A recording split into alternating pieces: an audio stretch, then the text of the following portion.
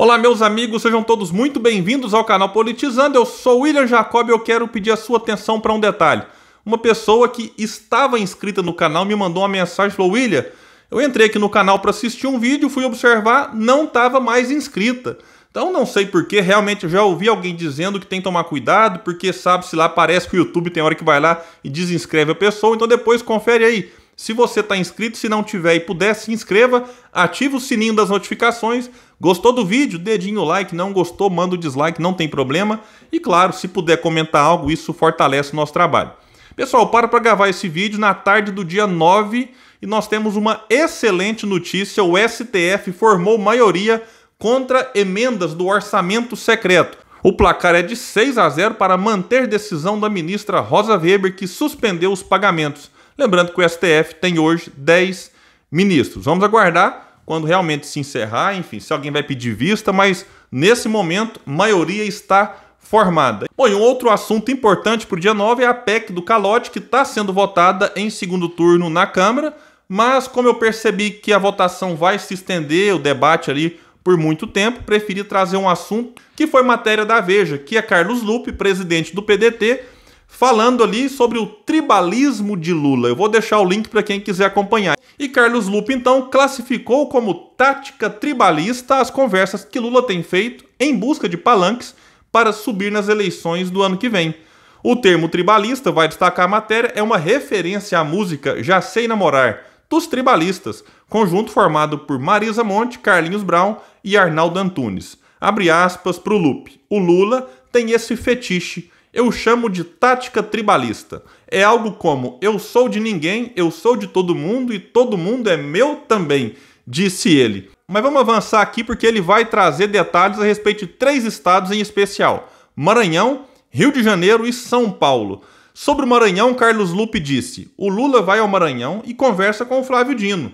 E seu vice, Carlos Brandão. Dino, lembrando, é do PSB e Carlos Brandão do PSDB que deve concorrer ao governo, o Carlos Brandão.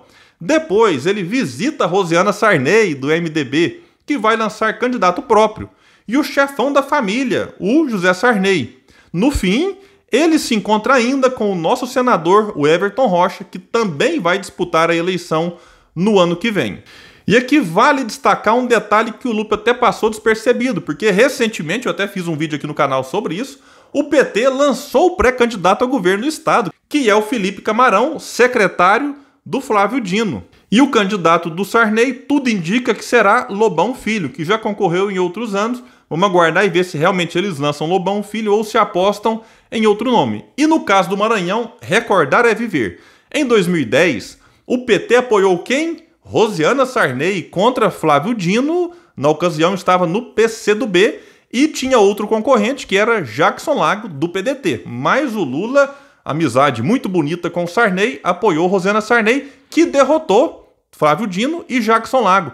Teve ali 50,08% dos votos no primeiro turno. Em 2014, alguém pode ter pensado, ah, William, 2014 deve ter apoiado Flávio Dino. Não, apoiaram Lobão Filho, de novo contra Flávio Dino. Mas desta vez, Flávio Dino, então, derrotou o Lobão Filho, que tinha na sua chapa o PT. Então Lula, PT, Dilma e companhia, junto com Sarney, foram derrotados por Flávio Dino. Em 2018, Flávio Dino, então, consolidado como uma força no Estado, aí sim recebe o apoio do PT, vence no primeiro turno, e aí muita gente pensou, falou, puxa vida, agora nós teremos uma eleição sem a sombra do Sarney que assombrou a população por muitas décadas. Só que não, em 2021 Lula se encontra constantemente com a família Sarney, com Lobão pai, com Lobão filho, enfim.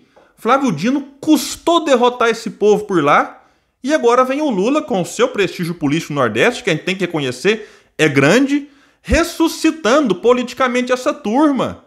É inacreditável o que ele está fazendo. Então vamos aguardar e ver esse tanto de pré-candidato que agora fica aí beijando a mão do Lula, quem que o Lula realmente vai apoiar lá no Maranhão, se é que vai declarar apoio a alguém. Que se o PT tiver candidato, pode ser que o Lula então suba no palanque do candidato PT. Eu digo que pode ser, porque às vezes o PT boicota o próprio candidato, como aconteceu em 2014 com o Camilo Santana no Ceará, que já que tinha ali Camilo Santana de um lado e o amigão do Lula, Eunício Oliveira, de outro, o Lula não gravou nenhum vídeo a favor do Camilo Santana certamente para não constranger o grande aliado Eunício Oliveira. Vamos aguardar e ver como que fica a situação no Maranhão para 2022.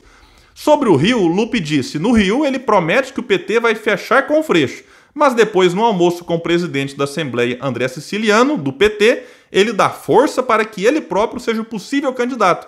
Mais tarde, ele visita o Paz, do PSD, e diz que ele é um nome que unifica todo o Estado e que ele deveria deixar a prefeitura e tentar o governo. E no fim, ele manda o Washington Quaquá, do PT, dizer para o governador Cláudio Castro, que é do PL, que ele seria uma ótima opção de composição.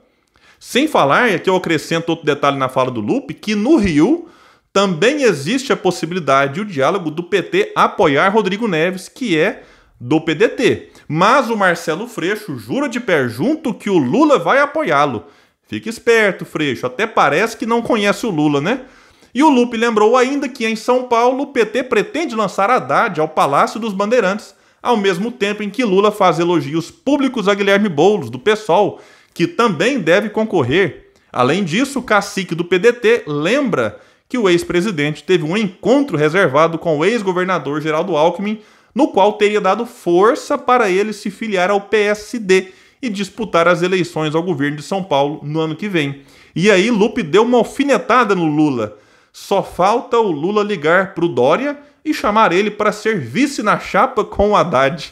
E para fechar, a gente tem que pensar o seguinte: Lula faz o papel dele, que é tentar, enfim, criar confusão nos outros partidos, fragilizando-os e tentando garantir o seu palanque em cada estado. Ou às vezes, palanques, porque sim, no Nordeste, por exemplo, Lula vai ter em alguns estados palanque duplo e às vezes até triplo pela força que ele tem lá. E do outro lado, Carlos Lupe também faz a parte dele, que é tentar dar um alerta, e me parece que às vezes até direcionado aos próprios correligionários, porque aí eles alimentam a esperança do São Lula vir abençoar a candidatura, e talvez isso não ocorra. Enfim, é necessário ficar esperto, é como se fosse assim, o golpe tá aí, cai quem quer, o próprio Ciro tem alertado isso frequentemente, alertou o Boulos, eu lembro direitinho, numa entrevista com o Datena, em que o Boulos estava sendo entrevistado antes, em seguida veio o Ciro e ficou ali alguns minutos os três juntos na tela. E o Ciro falou pro Boulos: fique esperto. Muita gente brinca, né, que o escorpião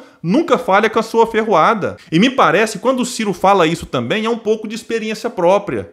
De que ele, que apoiou o PT, embora nunca tenha sido do partido, durante muitos anos, enfim, abriu mão já, fez sacrifícios pessoais, talvez contando com um apoio que nunca veio. 2010, por exemplo, o Ciro no PSB, em várias pesquisas, aparecia na frente da Dilma.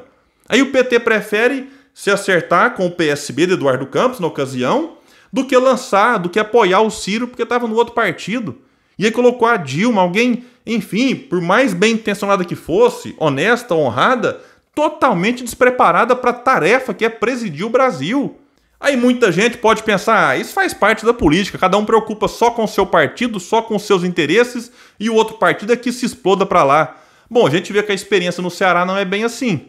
Cid Gomes era governador do estado, quem que ele apostou para sucedê-lo? Camilo Santana, que era do PT. Repito, Ciro e Cid nunca foram do PT. Camilo Santana se elegeu governador pelas suas qualidades como secretário que era, enfim, uma promessa, um talento ali no Estado, recebe o apoio do Ciro, do Cid e do grupo, depois se reelege em 2018, mas o Ciro e o Cid poderiam simplesmente continuar apostando em gente só vinculada ao grupo do partido que eles estavam na ocasião. Então a gente tem que ver que dá sim para fazer política de uma forma diferente. Bom, então é isso que eu tinha para trazer sobre essa matéria. Vou deixar um link aqui embaixo para quem quiser acompanhar. Ficaremos atentos, são três estados importantes e que o Lula realmente, eu acho, concordo com o Lupe, tem tido uma tática bastante tribalista. Eu fico por aqui e até o próximo vídeo no canal Politizando.